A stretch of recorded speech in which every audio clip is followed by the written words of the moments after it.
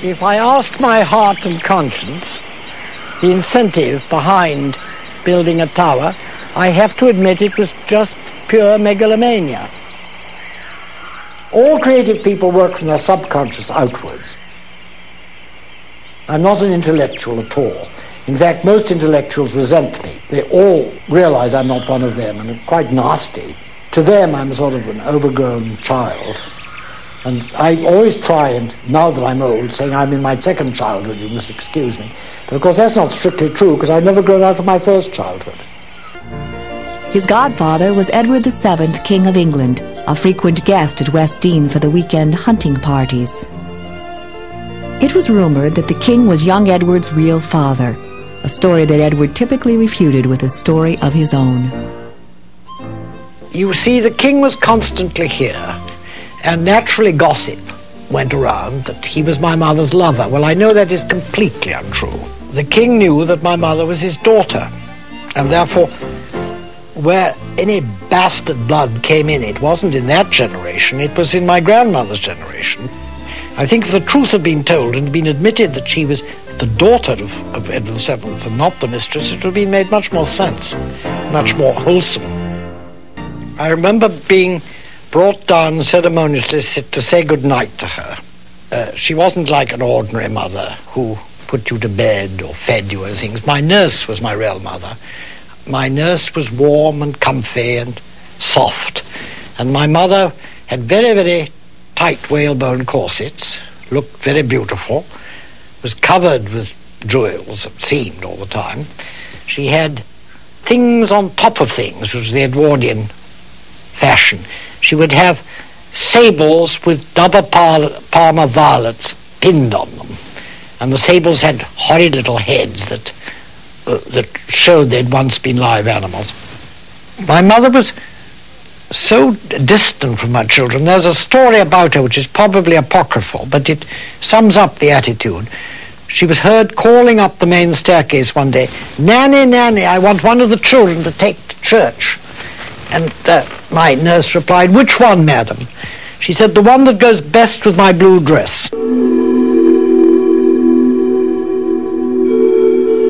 If I'm a surrealist, it's not because I got linked with a movement, it's because I was born one. A great number of people are surrealists without ever having heard of the movement.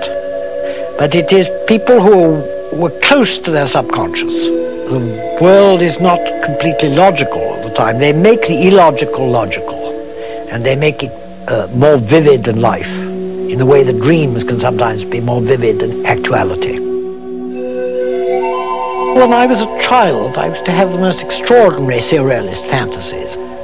I think one of the reasons that my fantasy was developed so intensely was that I was forced to rest, quite unnecessary, when I should have been allowed to run around in the garden. I was made to sleep in my perambulator, and I couldn't sleep. Also, I wasn't allowed up in the morning. I remember in Scotland on a wonderful fine day in August, and the sun pouring through the blinds at seven. I wanted to get out of my little bed, which I was hemmed in by big brass rails, and run out into the garden and down to the beach. But I wasn't allowed to until Nanny woke up, which wasn't until 8.30. So I would have from 7 till 8.30 in which I'd have to invent a world, and therefore all my blankets became a, a flying city, and I made domes out of the pillows, and I would get under and imagine that I was in a series of halls and this was Aladdin's palace flying over the world. Edward was obsessed with uh, Tilly Losch, and he said that on their marriage night, he naturally wanted to consummate their marriage. And she quite laughed at him and said, I mean, you don't think that I married you to have this kind of a relationship with you, do you? I mean, you couldn't have been thinking that. And she refused to have a, uh, uh, a sexual relationship with him. I remember Lady Cunard saying to me when I was 16 at a tea party, she asked me some question, where is so-and-so? So I told her where so-and-so was and how he was, and evidently I should have answered the question truthfully. So she said to me, she had a very funny voice, Lady Cunard, she talked like this, she said, Edward, the trouble about you is you will go around telling the truth. Now, society is built upon a lie, And if you go around telling the truth the way you do, you won't be received in decent houses. Which I thought very profound. Ostracized by his social set after his divorce, Edward retreated to his childhood home at West Dean. I uh, was very broken with grief after my wife left me, and also the exhaustion of the ballet, and a great loss of money too. So I came back to this house alone, and the spring was so glorious at West Dean. This house was so full of treasures. The whole place was so rich with everything beautiful in creation that as I was beginning my dinner, I suddenly saw the room begin to spin. I looked up at the ceiling and I saw, I knew it was a projection of my own subconscious, but I saw a circle of all creation with a great light in the middle and all the flowers and trees according to their genuses spread out and all the animals according to their races and families all around around this central light and then it began to turn slowly and then faster and faster and I heard the music of the last movement of Beethoven's Eroica Symphony going faster and faster and faster till suddenly it exploded in the sky.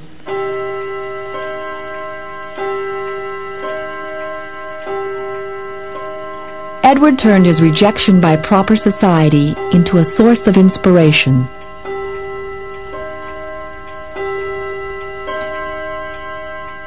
He outraged his fox hunting neighbors by converting his father's hunting lodge, known as Monkton, into a whimsical, surrealist showcase. Traditionalists were shocked by the lavender exteriors, fiberglass palm trees, mock bamboo drain pipes, plaster sheets permanently drying in the windows, and a chimney clock that counted the days of the week. Completed in 1937, Monkton was a seedbed for ideas that Edward would later realize at Las Pozas.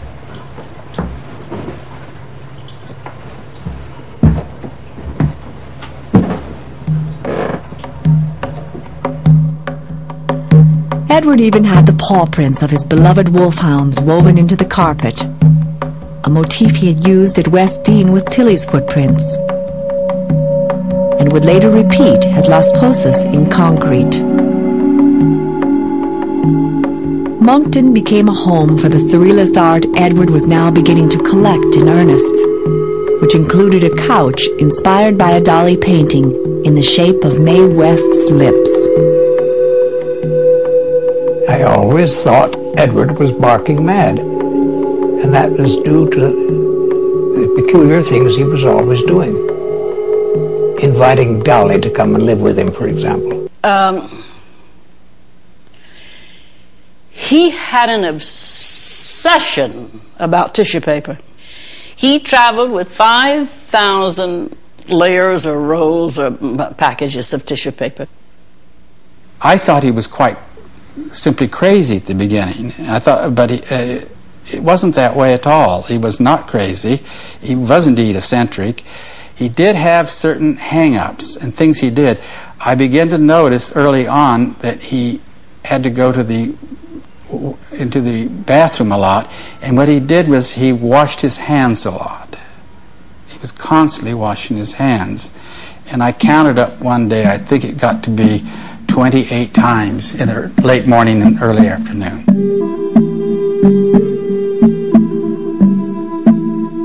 I've never wanted to be an eccentric. In fact, I've tried to conform as much as possible, but something in my nature obliges me to be eccentric. And it, people think, oh, he's a posing. He, he, wants to make himself interesting. He's posing as eccentric. It's quite untrue. Uh, one is an eccentric, in this case, entirely against one's own will, one's own planning. It's just something that was born with, like having green hair. In fact, there was, a, I think, a movie about called The Boy with the Green Hair, showing that he couldn't help having green hair. I met Edwards, and Nellie introduced me to him. And of course, he was very interested. And I asked him, "I'd like to work for you." He said, "Well, I, I, you had to come to me, and we're going to talk, discuss all what I want from you." So I said, fine. So next day I went to him and went to dinner. And he said, I like this thing. The first thing I hate, my secretary who want to work for me had to be on the nude. Do you mind? This is my first condition. If you mind, then I don't think so we can get along very well if you don't want to wear in the nude. So I said, well, it's okay. Being in Mexico, going in the river, I take my clothes off and I swim, so what difference it makes to me? We start typing type and type, repeat them many times. And then, if I was typing a lot of paper and something fall on the floor, he, we had to throw it away because he was said germs. I don't want anything to fall on the floor. Everything is dirty, so let's try destroy this thing. Let's burn it on the toilet. And so he go to the toilet and burn every paper on the toilet, and say, and give me more paper. Now it's start all over again maybe one poem would start maybe 20 times, typing over and over and over. As a surrealist, Edward felt that art should compete with reality. His first glimpse of the Watts Towers in Los Angeles moved him deeply. Here was a magnificent surrealist creation on a scale beyond anything he had imagined, and the city was threatening to destroy it. The Watts Towers are the work of an Italian-American craftsman named Simon Rodia. He pieced them together out of concrete and bits of scavenged glass and tile. It took him 30 years. But Rodia had neglected to secure the proper building permits.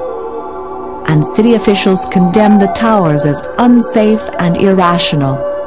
Edward joined the rescue effort that saved them from the wrecking ball.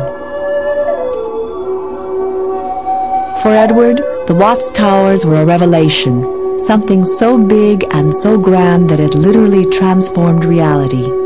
He saw a new way of realizing his own artistic ambitions.